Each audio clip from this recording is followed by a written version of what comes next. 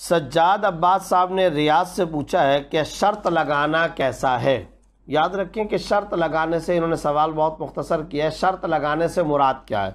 अगर तो शर्त लगाने से मुराद ये कि किसी की हार जीत में शर्त लगाई जा रही है। आ, या ये कहना कि फ़लाँ की बात सही हुई तो मैं इतने पैसे दे दूँगा इतनी रकम दे दूँगा। और अगर ये बात सही ना हुई तो फिर आप इतनी रकम दोगे।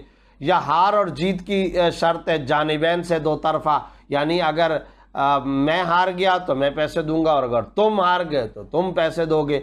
अगर ये बात है शर्त लगाने से ये मुराद है तो ये शर्त लगाना कीमार है जुआ है शरन हराम है नाजायज़ है। इस तरह से अगर क्रिकेट का खेल हो फुटबॉल का खेल हो या कोई भी अगर खेल हो दो तरफा शर्त अगर लगाई जाती है तो ये शरन कीमार और नाजायज़ है। इससे एतराज़ करना ज़रूरी है। ख़ुद कुरान करीम के अंदर मैसर का लफ्ज़ आया हुआ है नमलखमरमैसरबैतवलम रिजसन मिन अमल शैतान। क्या कहा गया कि ये नजस है, शैतानी अमल है फज तनीबू इससे रुक जाओ।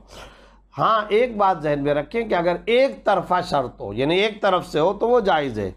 क्या मतलब? यानी अगर ये तुम जीत गए तो मैं तुमको पैसे दूँगा, लेकिन अगर तुम्हारी तरफ़ से होगा, ऐसी कोई बात नहीं है। सिर्फ़ और सिर्फ़ एक तरफ़ से अगर हो तो इसकी गुंजाइश है। इसी तरीके से अगर दो खेलने वालों में से नहीं, बल्कि कोई तीसरा बंदा कि भाई तुम में से जो जीत जाएगा, मैं उसको ये इनाम दूँगा।